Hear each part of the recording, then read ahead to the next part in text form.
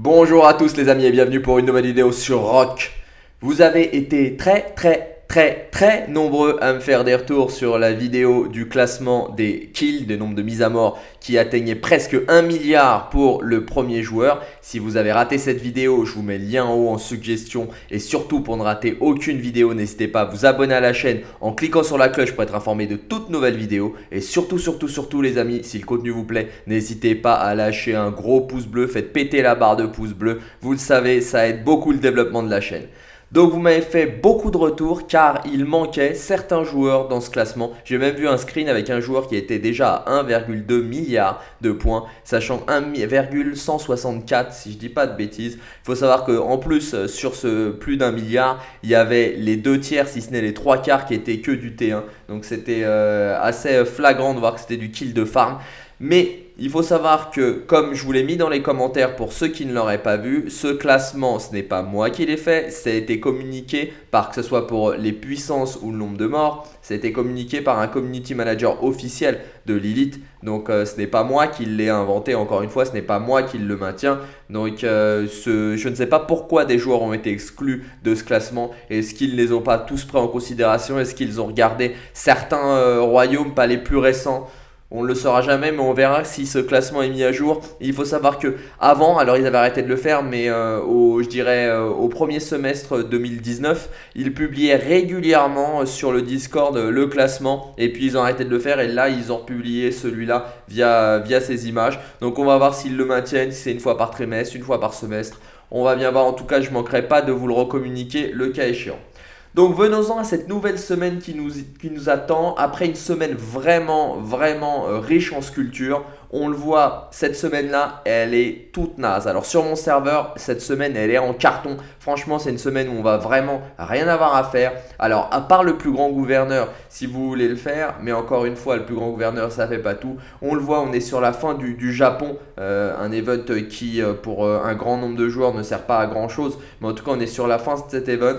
On le voit, il va avoir armée surpuissante qui arrive. Donc armée surpuissante où il faut tuer euh, des barbares et entraîner nos troupes, c'est limité. Il n'y a pas de classement associé à ça. Donc euh, les récompenses sont vraiment très très très limitées.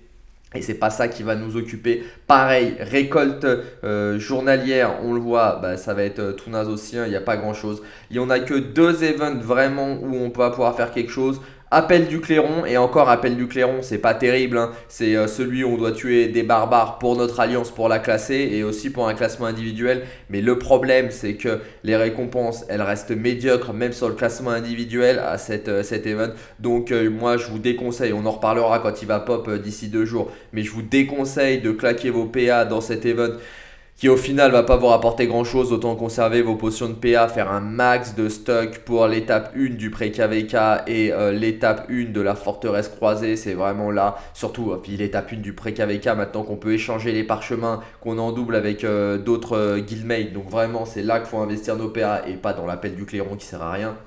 Et on aura aussi invasion de la Légion de l'ombre, alors l'invasion de la Légion de l'ombre, c'est pas ouf non plus. Hein. Franchement, euh, j'ai déjà vu dans des alliances des scandales parce que ça avait été lancé et d'autres qui n'étaient pas prêts, etc. Franchement, la dernière fois qu'il est arrivé, euh, j'étais encore sur le KVK, ça a été lancé sur le royaume, euh, sur le royaume mère et j'en avais rien à faire et on était un grand nombre à, s'en moquer. C'est pas non plus un event stratégique majeur qui permet de se refaire en termes d'items, donc c'est pas Bon, c'est pas ouf cette semaine et puis on a 5 conquérants encore une fois. Ils vont nous le mettre toutes les semaines parce qu'on l'avait déjà euh, la semaine dernière. Donc euh, bref, décevant cette semaine. Je vais pouvoir me concentrer donc puisque j'aurai pas grand chose d'autre à faire sur le plus grand gouverneur. Cette fois, je ne vise pas la victoire hein, au plus grand gouverneur. J'ai gagné le précédent. Euh, je vais viser tranquillement. Oh Mani, bien joué. dédicace à toi. belle position avant même d'avoir le buff. Euh, mais attendez toujours le buff, hein, bien évidemment, avant euh, de royaume, puisqu'on a toujours lors de l'étape 1, normalement sur tous les royaumes, jamais vu un royaume qui ne le lançait pas. Donc attendez bien le buff avant de, vous enflammer. En tout cas, euh, je ne vise qu'un top 10, donc alors qu'un top 10 entre guillemets, hein, un top 10 ou un top 15. Je vais essayer de le tenir, surtout avec le kill event. On va bien voir les règles sur le royaume, mais elles restent standard en tout cas chez nous. Donc, donc voilà. Euh, on va passer, euh, puisque c'est quand même assez mort, on va s'intéresser à quelque chose qu'on n'a pas fait depuis assez longtemps, euh, puisque je l'ai fait qu'une fois, la Ligue Osiris, mais il y a eu beaucoup, beaucoup de surprises. Mais là, cette fois, on va s'y intéresser euh, côté euh, autre royaume, à savoir pas Horus, mais Anubis. Il y a eu beaucoup de surprises côté Horus. On y reviendra dans une autre vidéo euh, dans la semaine. Mais là, pour le moment, on va s'intéresser aujourd'hui à ce qui s'est passé dans les phases éliminatoires finales. Alors, ça fait un peu bizarre, hein, éliminatoire finale. Euh, pour, euh, pour la phase euh, du royaume d'Anubis et voir si on a eu des surprises. C'est des royaumes qu'on connaît peu, c'est des royaumes qu'on connaît moins, mais il va falloir s'en méfier car franchement, il y a vraiment du très très lourd. J'échange avec pas mal d'entre vous, notamment sur les KVK qui viennent de commencer, au-dessus de 55 si je dis pas de bêtises.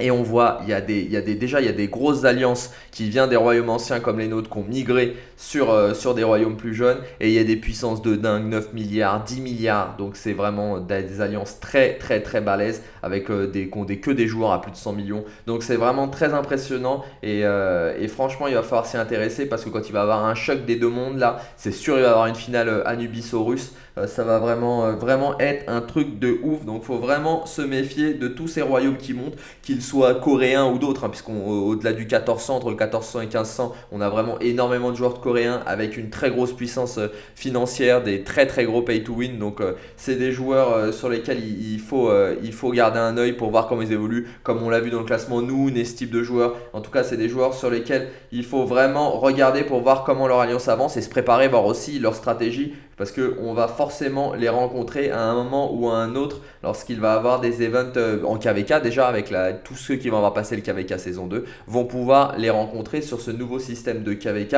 s'ils arrivent à le patcher, si ça arrête d'être euh, totalement buggé et lagué, s'ils arrivent à faire quelque chose quand même parce que pour le moment les retours que j'en ai ils sont vraiment assez buggés. Donc regardons si on a eu des surprises. Alors déjà euh, on le voit là on avait sur cette division 1 on avait les Riot qui étaient les plus puissants donc pas de surprise On avait un choc à 2 milliards et demi contre 2 milliards 100. Le plus puissant euh, des deux a gagné. En revanche, les 91 RH en dessous, c'était équilibré. Ah non, c'est ouais, si c'est le moins puissant qui a gagné, mais c'était relativement équilibré.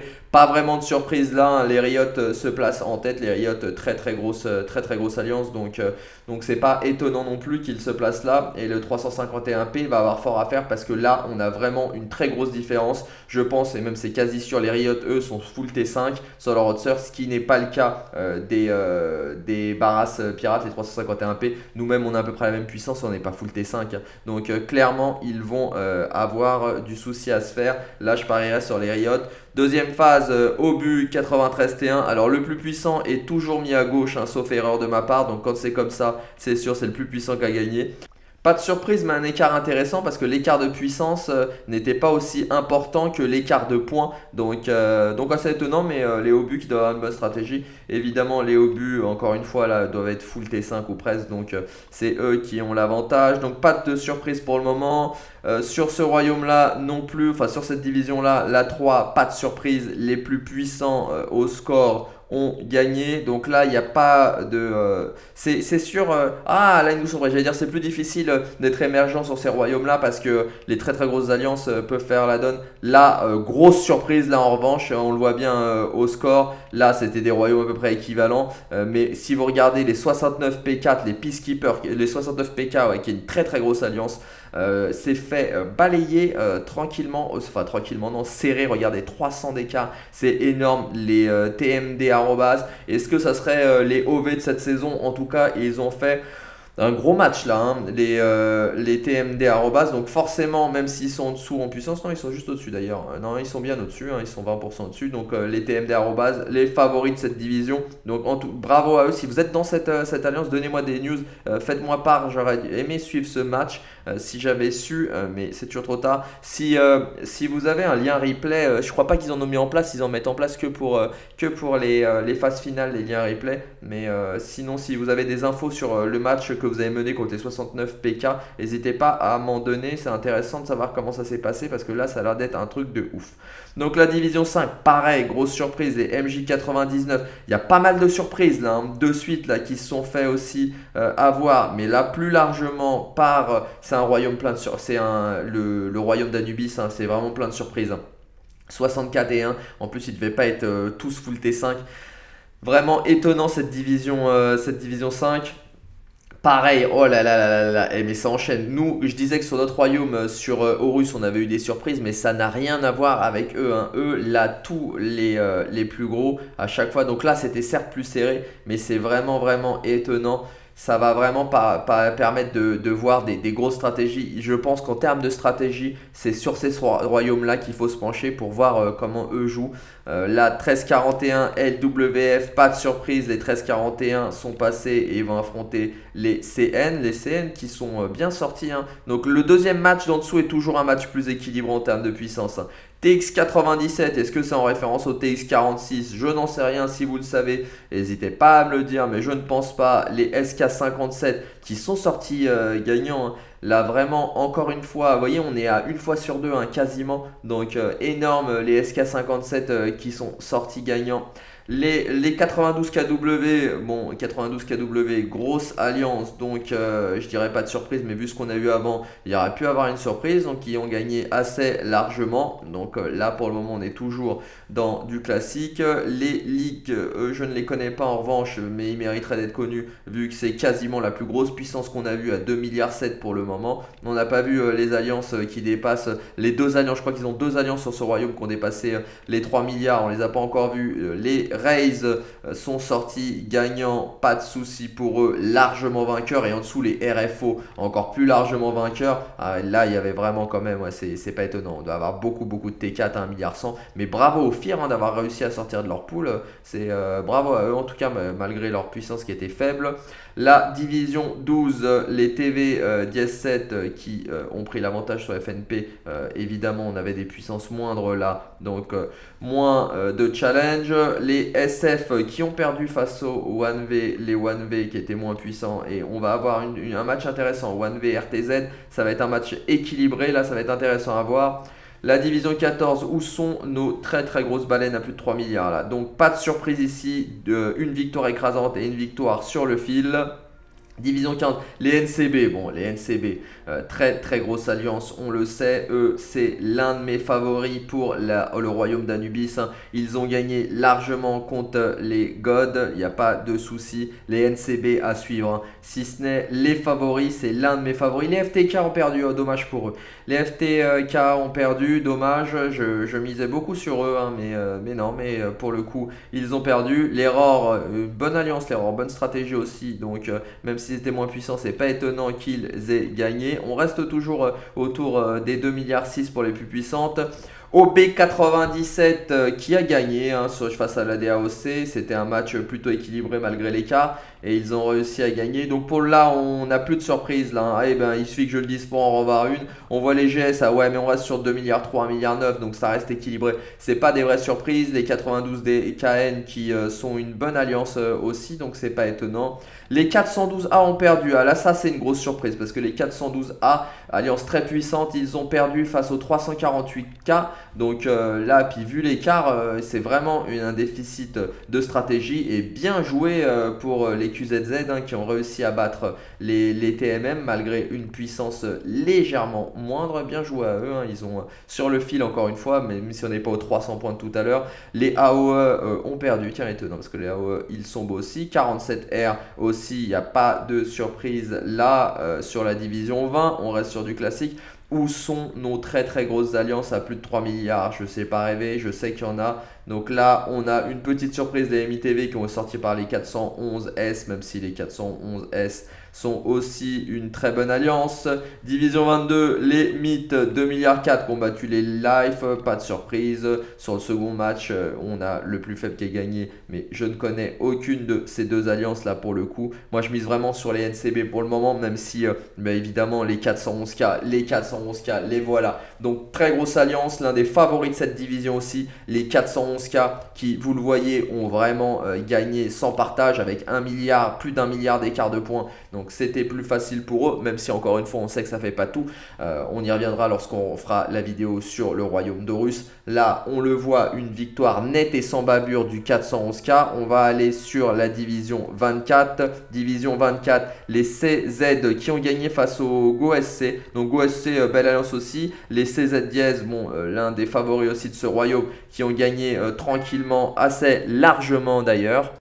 Division 25 à présent ou les NBA1, ouais, NBA1, voilà, je crois que c'est les plus gros. Hein. Donc eux, euh, avec les NCB, c'est aussi euh, l'un, à mon avis, qui, des alliances qui fera partie du carré final. NBA 1, très très grosse alliance qu'on gagnait, facilement, mais pas par un 81 000 euh, à, à 0 alors qu'ils avaient la puissance pour. Donc remarquons la puissance, la stratégie plutôt des Nocs qui leur a permis de ne pas être ridicule et de pas se faire écraser même s'ils ont perdu assez largement. Donc là, on va avoir les malheureusement les LHB à part surprise du siècle, mais là il y a une différence de T5 qui est, vraiment trop importante. Donc il n'y aura pas de miracle à mon avis. Division 26, VNFV euh, qui gagne face au EGR. Pas mal, pas mal, pas mal, pas mal. Hein. C'est pas une surprise, euh, c'était sûrement un match qui n'était pas forcément gagné d'avance. Division 27, à présent, euh, on le voit, les TX. Bon, les TX ont gagné face au Slap. C'était pas évident non plus, et c'était pas gagné d'avance du moins mais euh, rien euh, de surprenant. La division 28, les NBA 2, évidemment les NBA 2 puisqu'on a eu les NBA 1, c'est bien, les NBA 2 sont passés, ils sont loin euh, des, NBA 1, donc ils vont pas se rencontrer normalement, sauf s'il y a un retirage. Je sais pas comment ils font, s'ils font un retirage ou s'ils suivent le numéro de la division. Donc on va avoir un beau match là, puisque les puissances sont assez proches quand même.